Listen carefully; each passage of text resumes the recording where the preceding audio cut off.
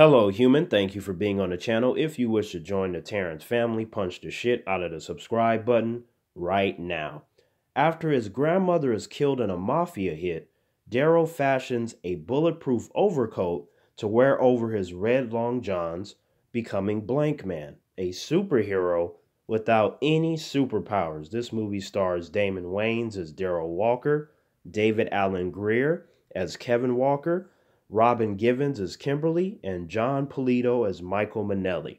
Right from the jump, when we see Kevin and Daryl as kids, they are big fans of the uh, Batman series, uh, starring Adam West and Burt Ward. And that made me relate to them because when I was a kid, I enjoyed the Batman series starring Adam West and Burt Ward. It was so fun watching them figure out how to be uh, multiple steps ahead of the villains, beating the shit out of the villains, the whole pow and smack and getting thrown through the table and the walls and all that kind of stuff. It was so much fun. And Daryl, from my perspective, was an even bigger fan of the show than his brother Kevin because you fast forward to when they're adults, you have Kevin who works in like a news studio, and Daryl is like Mr. Fix It. Anything that breaks, he can fix it. It don't matter. Toaster, refrigerator, whatever it is, he just knows how to fix it. He's also an inventor.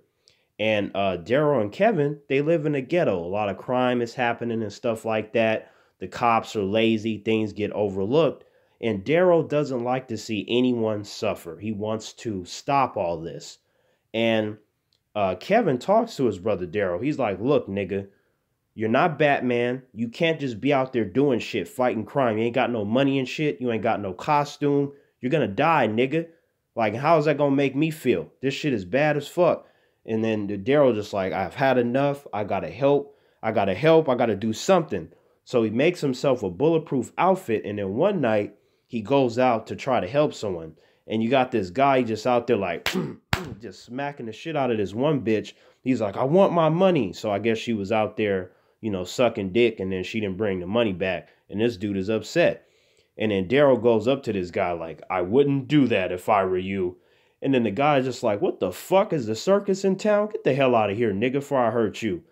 And then he, and fucking Blank Man, is just like, look, I don't want to take her place, but I will if I have to.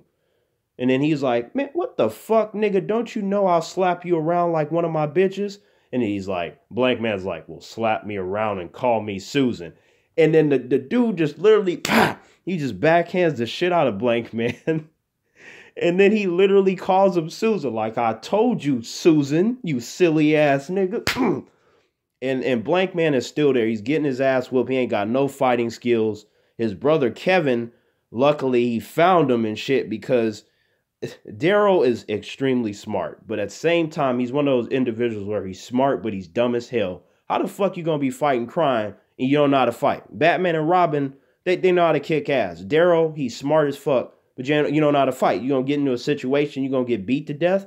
So luckily, he gave his brother Kevin a belt where he can follow him. It's like a locator and shit. And, and Kevin uses this locator to find his brother Daryl, and he sees him getting his ass whooped in the alley and this dude even shot Daryl like a few times, but luckily, you know, he made the bulletproof outfit. Like I said, he's a smart nigga, but at the same time, he a dumb nigga because you need to know how to fight if you're gonna fight some crime. Luckily, Kevin finds him, and then Kevin beats the shit out of the bad guy real quick doing, you know, martial arts. And then um, Kevin's just like, Daryl, I thought we talked about this shit. You can't be out there doing no superhero shit. You want to die, nigga? You lucky I was able to save you this time.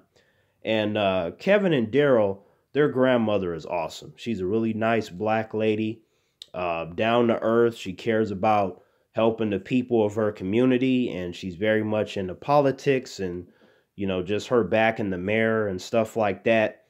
And uh, Michael Manelli, this motherfucker, if you don't do what he wants, you're just dead as fuck. And, um, you know, unfortunately, Michael Manelli is responsible for killing Daryl and Kevin's grandmother you know, and this mafia hit, and and Daryl just that that hits him hard, hits Kevin hard, and I feel like that escalates Daryl wanting to be a superhero uh, even more. You know, just to to uh, make sure that nobody else has to suffer or die, so he can stop this Michael Manelli guy. And we do get to some point in the film where uh, Kevin becomes uh, Blank Man's sidekick. So now, you know, Daryl being the Batman and Kevin being the Robin, if you will, even though Kevin should be Batman and Daryl should be Robin, you know, just based off the fighting skills and shit. Even though Batman and Robin, they both know how to fight, but it's just, I feel like Daryl's brother is more of, of the Batman, if you will. And his name is the other guy. Like, at least Daryl got like a superhero name, Blank Man. His brother, Kevin, his superhero name is just the other guy. And I was just like, that's some funny ass shit. On a scale from 1 to 10, 1 being horseshit on a hot, smelly ass day, and 10 being mind blowingly amazing, I'm going to give this movie, I'll give it a 6.5 out of 10. I think it's a solid movie. It's goofy as hell, but it's supposed to be. While it's goofy, it does um, respect the whole Batman series with Adam West and Burt, uh, Burt Ward. It's like it's paying tribute to the movie the entire time. You know, even when Kevin and Daryl, when they're fighting, you got the whole pow and smack popping up. I mean, it's clearly just a thing to respect what Adam West and Burt Ward did back in the day with those characters. And uh, the Daryl character, like I said, he can't fight to save his life, but at the same time, he's smart as hell. Uh, he created this robot uh, named J5, and that nigga was cool as fuck. Like he could talk, right? He could really communicate with you, understand what you're saying and then you just like kind of bang on him, and then like the fucking soda can will fall out uh, of the bottom of him and shit. I'm like, J5 is dope. I love to have a J5 around. Like, just because this movie is goofy doesn't mean you should underestimate the intelligence of the Daryl character. You you feel me? Like someone can be really smart and that can unfortunately be overlooked based upon appearance, how that person behaves. But Daryl got some real skills you know, really intelligent brother. And his brother Kevin, he just be getting impatient. He just like, Daryl, you are a silly ass nigga. You not gonna be out there fighting crime. Why don't you go be normal like everybody else? And then Daryl's like, Kevin, how can I be normal when people are out there suffering? I gotta do something about it, Kevin. Remember Batman and Robin? And then he's like, this silly nigga mentioned Batman and Robin. That shit ain't real, Daryl. Thank you for being here, human. I want you to like this video, share it with your family, your friends, whatever humans you may know. Punch the shit out of the subscribe button to join the Terrance family. And look, that Kimberly chick, she bomb as hell. I would love to fuck the shit out of her. Like, and her scenes with Blank Man, because Kimberly, like, being this news reporter and shit, and she falls in love with Blank Man, and Blank Man falls in love with her and their scenes together are fucking priceless. There's a scene where she kisses that nigga blank man, and this motherfucker just on the spot was having this massive orgasm and he busted like five nuts in a row. Like it was the craziest reaction I have ever seen from being kissed by a hot woman, you know, especially a hot black woman. Like I was like, you know what? I don't think I would have that response, but I understand it, especially since this shit is goofy as hell. But I love the characters in this movie, even the difference between Daryl and his brother Kevin.